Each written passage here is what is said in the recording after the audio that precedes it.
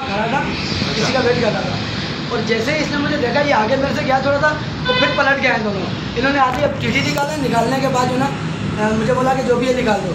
मैंने मोबाइल दिया उसके बाद मैंने कहा मोबाइल ले जाओ पर्स मेरा रहने दो। पर्स के अंदर मेरे जो ना डॉक्यूमेंट है जो है ये ए कार्ड वगैरह और शनाख्ती कार्ड वगैरह।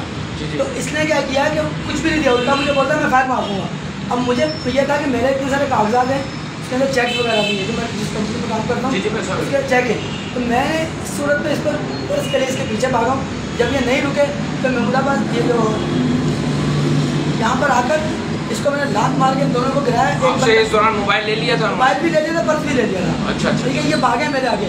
मैं इनके पीछे मैंने आवाज़ें लगाई हैं लोगों को। आप वहाँ से जाके चेक करें। हर गली में जो लोग खड़े थे मेरी आवाज़ें सुनी होंगी आगे आगे इतनी स्पीड से भाग रहे हैं। यहाँ पे अगर रश नहीं होता तो ये यहाँ से भी निकल जाते अच्छा आपका traffic police Mahmudabad traffic section के जवान मौके पे पहुँच गए थे?